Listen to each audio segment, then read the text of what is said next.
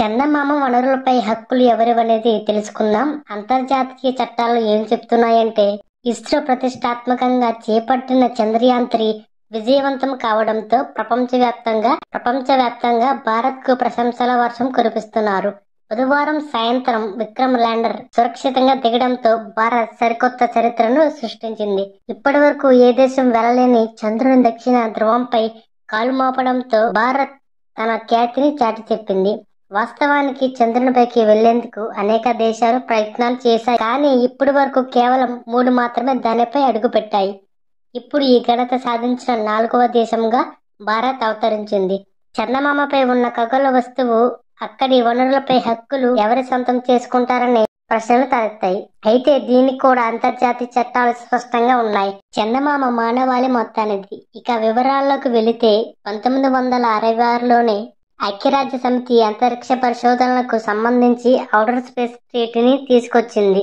అయితే దీని ప్రకారం చూసుకుంటే చంద్రుడు ఇతర ఖగోళ వస్తువులపై కూడా ఏ దేశము తమ సార్వభౌమాధికారాన్ని ప్రకటించుకోకూడదు. అన్ని దేశాలు ప్రయోజనం కోసమే ఖగోళంలో పరిశోధన నిర్వహించాల్సి ఉంటుంది. అయితే ఈ ఒప్పందంలో కేవలం ప్రభుత్వాలకు సంబంధించిన ప్రస్తావన మాత్రమే ఉంది. కానీ చంద్రునిపై ఏదైనా ప్రాంతంలో ఏదైనా దేశం తమ హక్కులను ప్రకటించుకోవచ్చా అనే దానిపై మాత్రం స్పష్టత లేదు.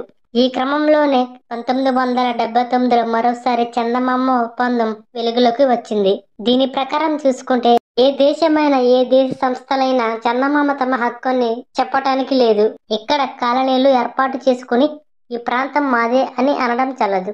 చందమామ దానిపై ఉండాద వనరులని కూడా మానవులందరికీ ఉమ్మడి సొత్తు. పంతొమ్మిది వందల ఎనభై నాలుగు సంవత్సరంలో ఈ ఒప్పందం అమల్లోకి వచ్చింది. ఇదిలా ఉండగా ఇప్పటి వరకు చంద్రునిపై ల్యాండర్లు పంపినటువంటి అమెరికా రష్యా చైనా దేశాలు మాత్రం ఆ ఒప్పందాన్ని ఆమోదించలేదు. అయితే అంతరిక్ష ఒప్పందానికి కొనసాగింపు కోసం రెండు వేల ఇరవై సంవత్సరంలో ఆర్టిమిస్ట్ అనే ఒప్పందాన్ని ప్రతిపాదించింది. చంద్రునిపై సురక్షితంగా ప్రయోగాలు చేపట్టడమే దీని ముఖ్య ఉద్దేశం.